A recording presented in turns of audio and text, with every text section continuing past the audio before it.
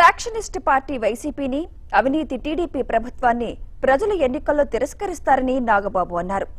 Narsapuram Janasena MP అభ్యర్థిగా పోటీ చేస్తున్న ఆయన తమ ప్రచారానికి ప్రజల్లో మంచి స్పందన వస్తోందన్నారు.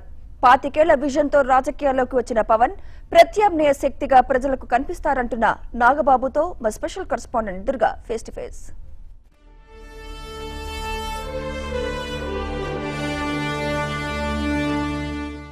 Andhra Pradesh ప్రజానీకం ఇప్పుడు సర్వత్రా ఆసక్తికరంగా నర్సాపురం పార్లమెంట్ వైపే చూస్తున్నారు. మెగా బ్రదర్స్ ఇద్దరు కొణిదల నాగేంద్రబాబు అలాగే పవన్ కళ్యాణ్ ఇద్దరు కూడా ఒకరు పార్లమెంట్ నుంచి మరొకరు అసెంబ్లీ స్థానం నుంచి ఇక్కడ బరిలోకి దిగుతున్నటువంటి నేపథ్యంలో సర్వత్రా జనసేన పార్టీ మీద రాష్ట్ర ప్రజానీకం ఆసక్తిగా చూస్తున్నటువంటి సందర్భంలో నర్సాపురం పార్లమెంట్ అభ్యర్థిగా బరిలోకి దిగినటువంటి కొన్నిదల నాగేంద్రబాబు మనకి ప్రస్తుతం అందుబాటులో ఉన్నారు. నాగేంద్రబాబు గారు మొట్టమొదటిసారిగా మీకు కంగ్రాచులేషన్స్ ఆల్ ది బెస్ట్ ఎందుకంటే మొదటిసారిగా మీరు ప్రత్యక్ష ఎన్నికల్లోకి వస్తున్నటువంటి సందర్భం కనిపిస్తూ ఉంది. ఎందుకు మొట్టమొదటిసారిగా మీరు ప్రత్యక్ష ఎన్నికల్లోకి రావాలని అనిపించింది? గతంలో మీరు ప్రజారాజ్య పార్టీలో కూడా కీలకంగా వ్యవహరించారు.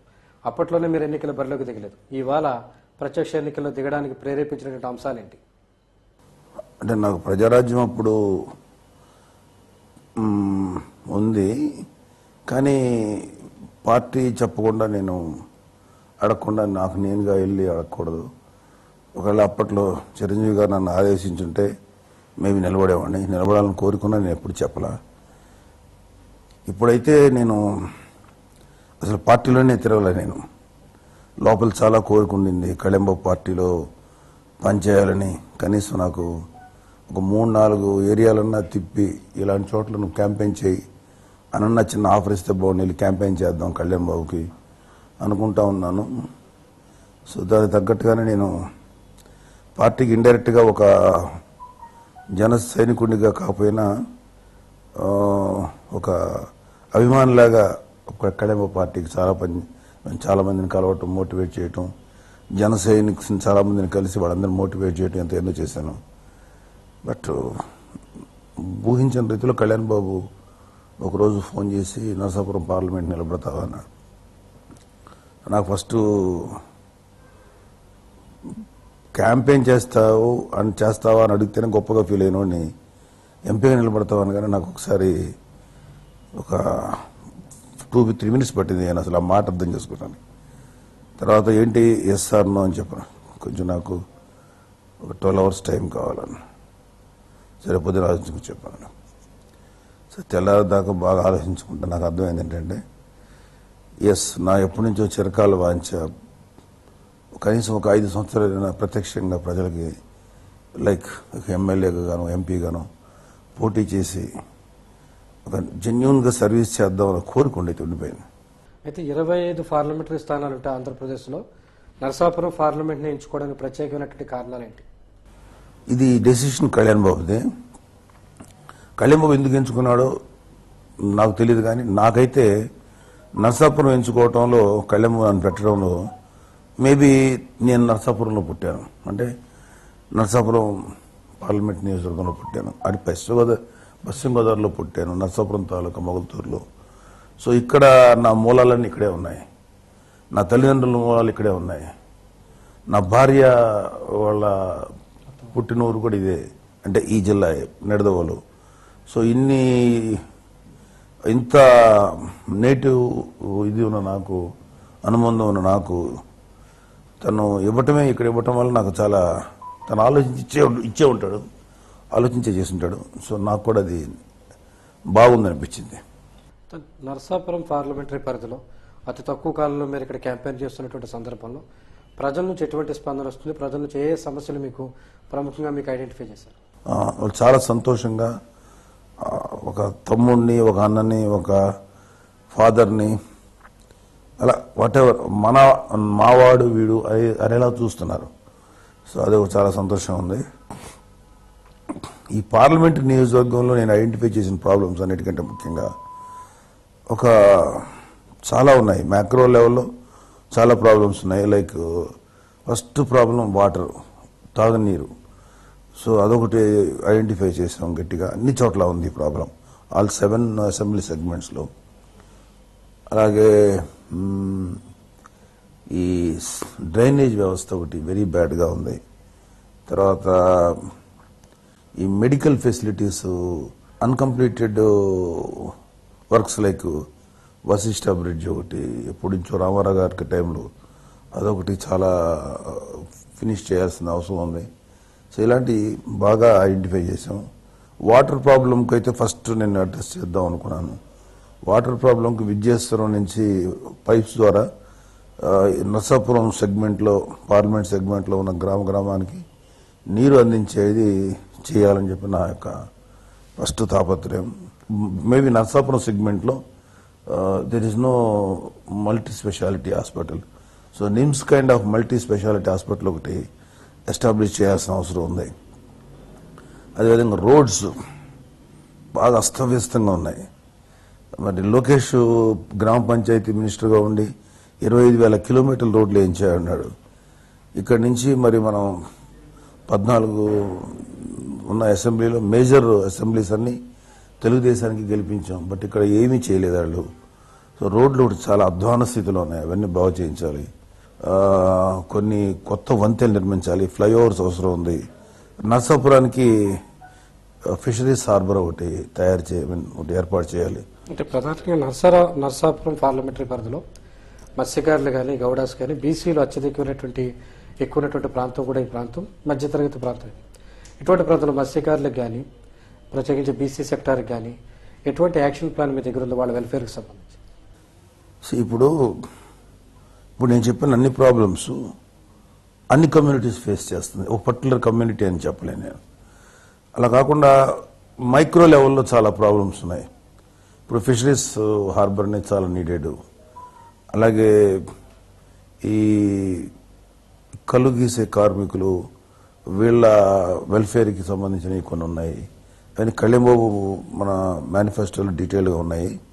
సో అటు పర్టికులర్గా ఒక వేవర్స్ కమ్యూనిటీకి సంబంధించిన ప్రాబ్లమ్స్ ఉన్నాయి. సో ప్రతి కమ్యూనిటీ ఏ కమ్యూనిటీకి ఆ కమ్యూనిటీ ప్రాబ్లమ్స్ ఉన్నాయి. ఈ బ్రాహ్మిన్ కమ్యూనిటీ తీసుకుంటే వాళ్ళకి వాళ్ళకు కమ్యూనిటీ హాల్ కానీ లేకపోతే వాళ్ళ పొలిటికల్గా వాళ్ళ involvement right from councillor to ఇది చాలా తక్కువ ఉంది. వాళ్ళకి కానీ అలాగే వైశ్యాస్ బిజినెస్ సంబంధించిన సమస్యలు ఉన్నాయి వాళ్ళకి కొన్ని కొన్ని టెక్నికల్ సమస్యలు. అవి కానీ అలా ప్రతి కమ్యూనిటీకి ఏదో ఒక రూపంలో సమస్యలు ఉంటూనే ఉన్నాయి.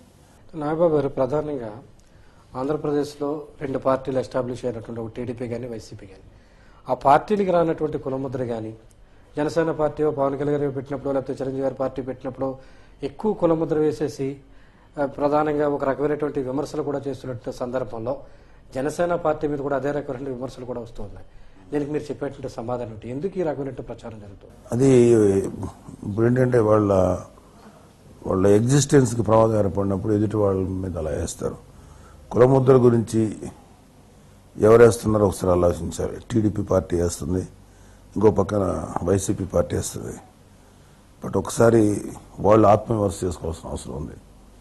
ఎవరు కుల ప్రాతిపదికగా రాజకీయాలు చేస్తున్నారు? ఇక్కడ వరకు తీసుకుంటే జనసేనలో ట్రై చేశారు వాళ్ళు. ఇప్పుడు వాళ్ళు కూడా వెనకం చేశారు. ఎందుకంటే జనసేన పార్టీ కుల పార్టీ కాదని అందరికీ అర్థమైంది.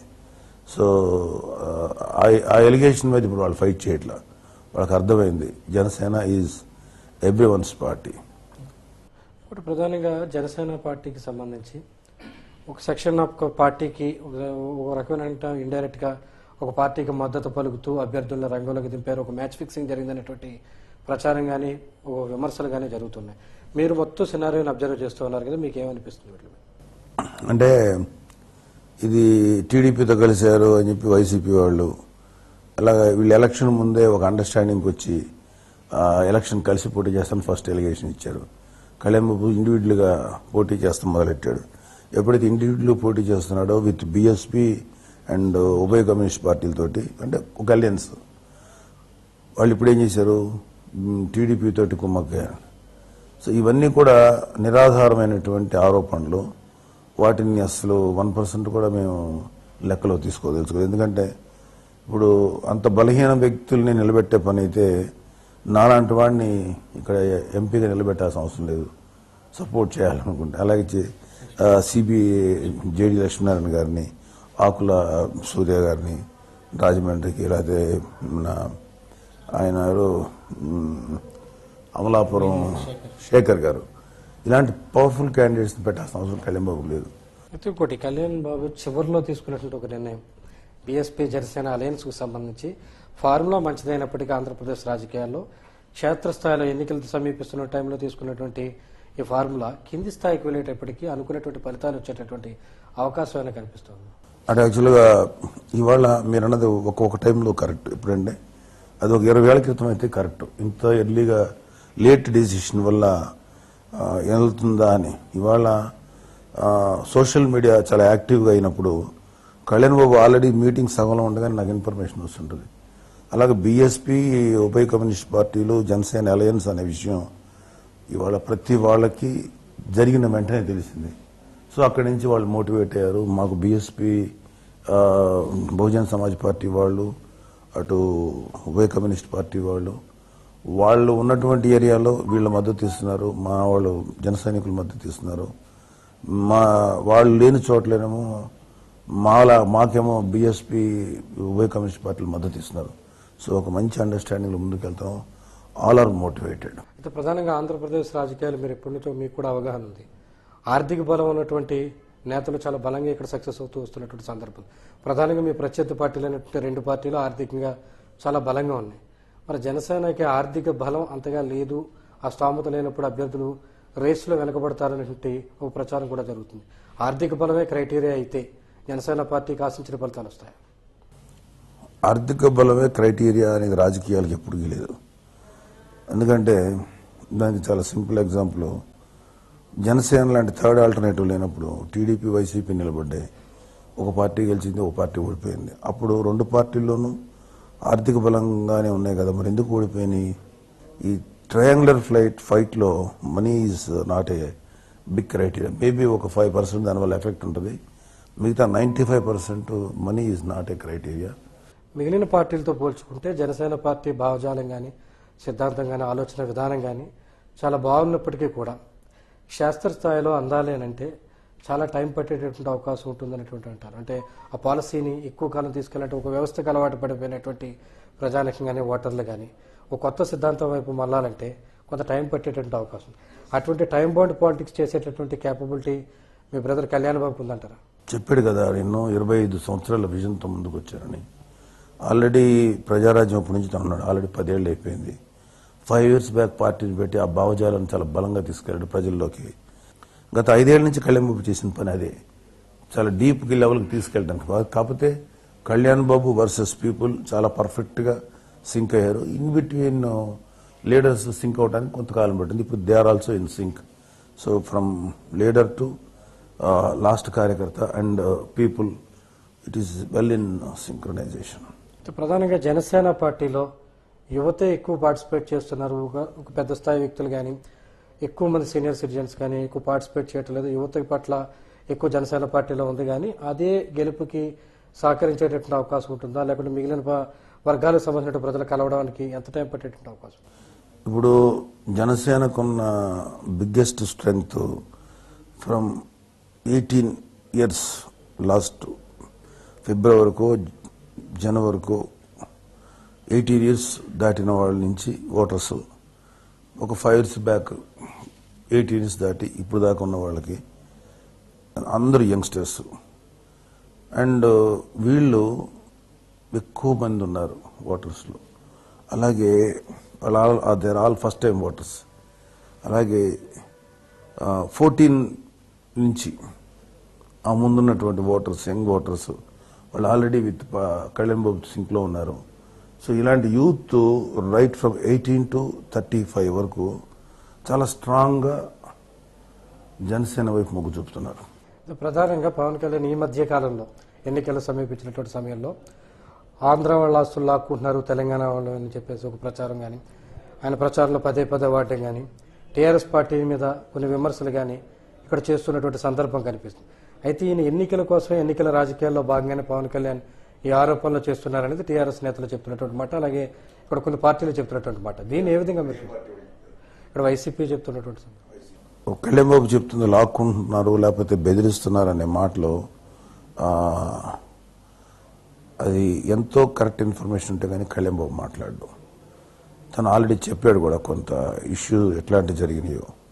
సో కళ్యాణ్ మాట్లాడిన మాటల్ని మనం గబుక్కుని ఈజీగా తీసేయటం లేదు టీఆర్ఎస్ తెలంగాణలో ఎంత బలమైన పార్టీ అయినా తెలంగాణ తీసుకొచ్చిన పార్టీ అయినా ఎక్కడో ఆంధ్రుల హృదయాలు గాయపడ్డాయి.